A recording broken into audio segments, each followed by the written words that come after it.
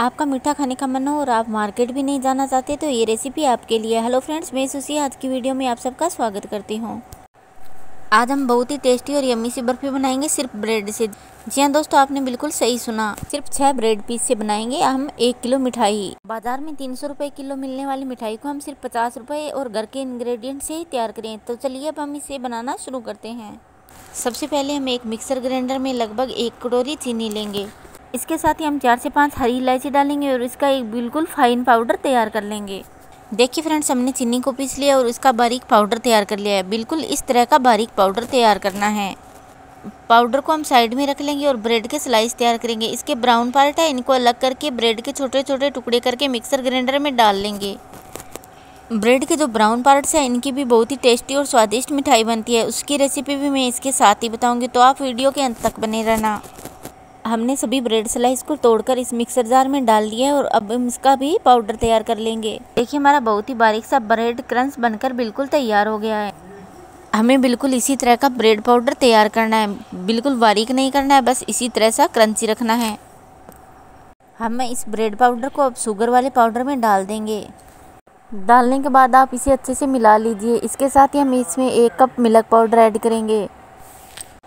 Milk powder डालने से इसका बहुत ही क्रीमी टेस्ट आता है और ये बहुत ही टेस्टी बनती है। इसके साथ ही हम ग्राइंड किया हुआ नारियल भी डालेंगे। अभी इसमें एक मेन इंग्रेडिएंट डालना बाकी रह गया है, वो है फ्रेश मलाई, जो हमें मावा वाला टेस्ट देगी। इसे टेस्ट करने के बाद कोई बता ही नहीं पाएगा कि इसे हमने सिर्फ़ ब्रेड और मलाई से बनाया है। बिल्कुल ये मावा बर्फ़ी लगेगी। मैंने यहाँ दूध के ऊपर जो गर्म करने के बाद मलाई आती है, वो ऐड किया। आप इसमें चाहे तो क्रीम भी डाल सकते हो। मलाई डालने के बाद आप इसे अच्छे से मिक्स कर लीजिए। आप चाहें तो इसमें एक से दो चम्मच घी भी ऐड कर सकते हैं। मैंने यहाँ घी का यूज़ बिल्कुल नहीं किया है।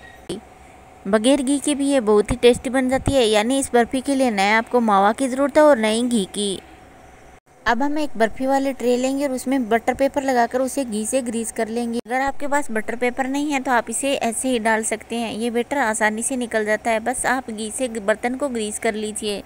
अब पूरे इस बेटर को इसके अंदर डालकर अच्छे से बिल्कुल एक समान सेट कर लेंगे।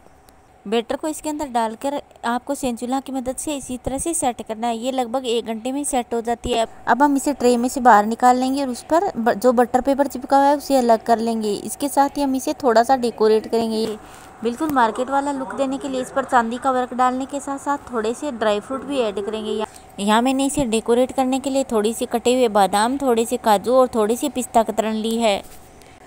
चांदी को ड्राई फ्रूट डालने के बाद हम इसे पिसेज में कट कर लेंगे। पिसेज आप अपनी पसंद के अकॉर्डिंग छोटे या बड़े कर सकते हो। आप चाहें तो इसे कतली की शेप में भी काट सकते हो और आप चाहें तो इसे बर्फ़ी की शेप में भी काट सकते हो। देखिए, देखने में लग रही है ना, बिल्कुल मार्केट वाली मावा बर्फ़ी तो आप इस रेसिपी को एक बार ज़रूर ट्राई कीजिए। मुझे कमेंट करके ज़रूर बताइए कि आपको मेरी रेसिपी कैसी लगी। अगर आप मेरे चैनल पर नए हैं तो प्लीज़ सब्सक्राइब कर लीजिए, बेल आइकन प्रेस कर लीजिए, ताकि ऐसी टेस्टी और यमी सी वीडियो की नोटिफिकेशन सबसे पहले आप तक पहुँचे।